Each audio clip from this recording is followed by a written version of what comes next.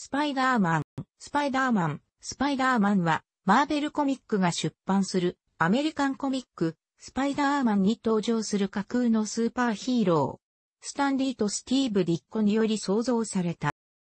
スパイダーマンは、原作者のスタンリーとアーティストのスティーブ・ディッコによって作られて、アメージング・ファンタジー15、1962年8月で初登場した。スプイリ、スパイリ、フレンドリー・ネイバーフット、親愛なる隣人、ウェブヘッド、ウェブヘッド、ウェブスリンガー、ウェブスリンガーなどのニックネームを持つ。キャッチフレーズは、Your Friendly Neighborhood Spider-Man、あなたの親愛なる隣人スパイダーマン。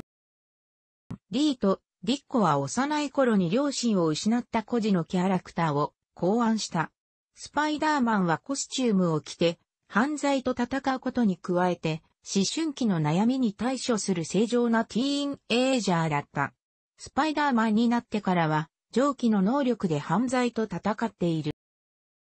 1960年代のスーパーヒーローのコミックブックにおけるティーンエイジャーの役割はサイドキックであり、主人公ではなかった。スパイダーマンシリーズはこの風潮を破り、スパイダーマンの背後にあるピーター・パーカーという高校生の正体と拒絶、過ち、孤独、自己脅迫観念は若い読者と共通していた。スパイダーマンは以前のティーンエイジャーのヒーローとは異なり、バッキーとロビンにおけるキャプテンアメリカとバットマンのようなスーパーヒーローのメンターを持っていなかった。最初のスパイダーマンの物語で自身の失敗で彼の叔父であるベンおじさんが死に大いなる力には大いなる責任が伴うということを知る。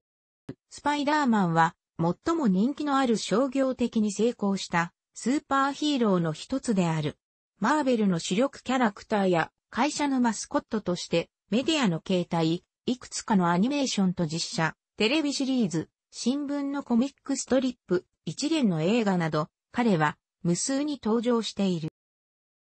詳細は、英語版ウィキペディアを参照。スパイダーマンシリーズ、アメージングスパイダーマンシリーズマーベルシネマティック、ユニバースアニメ作品スパイダーマンの設定は、実写では再現不可能と言われていたが、映画、スパイダーマンは、当時の CG 技術を結集させ、再現に成功した。実写映画シリーズは3で完結する予定が好評のため4から6の制作が発表されたが、学生期を描く作品にするため、ソニーピクチャーズはサムライミとトビー・マグワイアを交番にし、新たなリブート作品、アメージング・スパイダーマンを制作することを発表した。同作以降は 3D 映画として公開されている。アメージング・スパイダーマンも続編2作品とスピンオフ作品の制が予定されていたが、2作目の興行収入が配給側の予想を大きく下回った影響もあり、ソニーピクチャーズは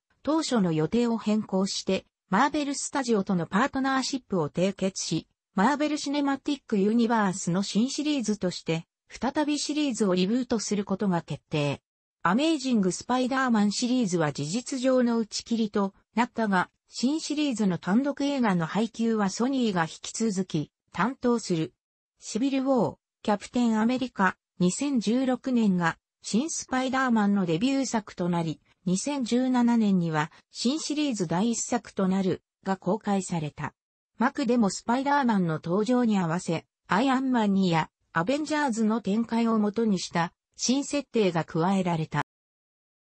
1999年、アメリカフロリダ州オーランドのテーマパーク、ユニバーサル、オーランドリゾート内にあるアイランズ・オブ・アドベンチャーで、コミック版、スパイダーマンをテーマにした、ザ・アメージング・アドベンチャーズ・オブ・スパイダーマンが登場。2004年には、ユニバーサル・スタジオ・ジャパンにも多少の改良を加え、アメージング・アドベンチャー・オブ・スパイダーマン・ザ・ライドとして登場。移動型ライドと 3D 映像を駆使したアトラクションで、とても評価が高く現在も USJ の人気アトラクションとっている。なお、日本版ではナイトゴーグル、3D メガネが青色への変更やライド乗車中の写真撮影などが追加されている。